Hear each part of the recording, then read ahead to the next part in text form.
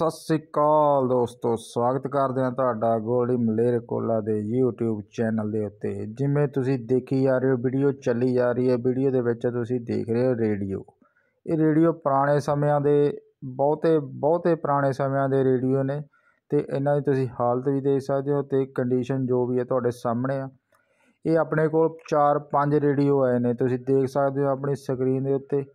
ਅਤੇ ਇਹ ਚਾਰ ਪੰਜ ਰੇਡੀਓ ਆਪਾਂ ਨੇ ਕਰਨੇ ਨੇ ਸੇਲ। ਜਿਹੜਾ ਵੀ ਦੋਸਤ, ਮਿੱਤਰ ਚਾਹਵਾਨ ਆ ਉਹ ਇਹਨਾਂ ਰੇਡੀਓ ਨੂੰ ਲੈਣ ਦਾ, ਉਹ ਮੇਰੇ ਨਾਲ 98558 74953 ਦੇ ਉੱਤੇ ਸੰਪਰਕ ਕਰ ਸਕਦਾ।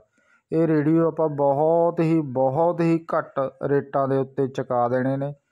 ਇਹਨਾਂ ਦੇ ਉੱਤੇ ਜੋ ਵੀ ਤੁਸੀਂ ਦੇਖ ਸਕਦੇ ਹੋ, ਇੱਧਰ ਇਹ ਔਲਖ ਦਾ ਰੇਡੀਓ। ਜੋ ਵੀ ਮਿੱਤਰ ਇਹਨਾਂ ਰੇਡੀਓ ਨੂੰ ਲੈਣਾ ਚਾਹੁੰਦਾ, ਉਹ ਮੇਰੇ ਨਾਲ ਸੰਪਰਕ ਕਰ ਸਕਦਾ, ਕਾਲ ਕਰਕੇ ਜਾਂ ਮੇਰੇ ਵਟਸਐਪ ਨੰਬਰ ਉੱਤੇ ਮੈਸੇਜ ਕਰਕੇ। ਮਲੇਰਕੋਟਲਾ ਦੇ ਵਿੱਚ ਰੇਡੀਓ ਉਪਲਬਧ ਹਨ।